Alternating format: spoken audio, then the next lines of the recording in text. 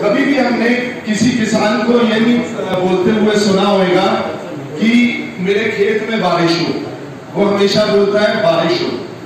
मेरा बोलने का अर्थ ये है कि सनातन धर्म महासभा के अंतर्गत आने वाली सभी संस्थाएँ हमें एकजुटता होकर तो शोभा यात्रा में चार चाँद लगाने हैं। पर हमें इस चीज़ का भी ध्यान रखना है कि हम जिस धर्म का प्रतीक ध्वज की बात कर रहे हैं। हम सबको ध्यान रहता है, हमने सोने की चेन पहनी है, वो गिरे ना। तो एक ध्वज हमारे हाथ से कैसे गिर सकता है? दूसरी बात ये, मैं सभी संस्थाओं से निवेदन करता हूँ कि हमें बोला जाएगा तो प्रत्येक व्यक्ति नहीं लाएगा।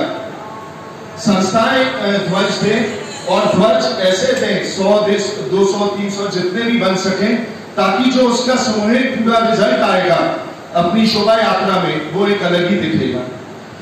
चौथी बात, आने वाली पीढ़ी को भी समझ में आए कि राम मंदिर, श्री कृष्ण मंदिर, सभी संस्थाएँ, सनातन धर्म सभा है क्या?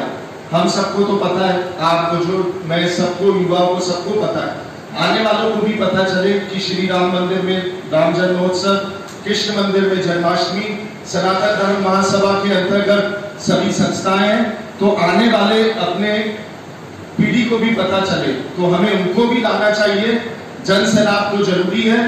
रही प्रचार प्रसार की बात, किसी भी संस्था को, किसी भी आयोजक को प्रचार की ज़रूरत रहती है। मैं अपने श्री श्याम देवाचार्य जी जगत गुरु के आशीर्वाद से और नरसिंह पीठाधीश्वर नरसिंह दास महाराज की कृपा से, ईश्वर की कृपा से हमने शुरू कर दिया है। जन्मोत्सव का और शोभा यात्रा का प्रचार हम शुरू कर रहे हैं। हमारा मेन मकसद ये है कि कम से कम ऐसा प्रचार करें कि हज़ार युवा तो मैं और अमृत अपने पूरे उससे हज़ार युवा में इस जनसभा में खड़े करके आप सभी का आशीर्वाद बना रहे। हमारा यूट्यूब चैनल अमृत कुंज भक्ति प्रभाव आय अमृत कुंज। श्याम देवाचार्य जी की पुण्य स्मृति में हमने शुरू किया था आप लोग के आशीर्वाद के लिए। और आप लोग की कृपा के लिए मैं हमेशा धन्यवाद और आभार व्यक्त करता हूँ। जय जय श्री राधे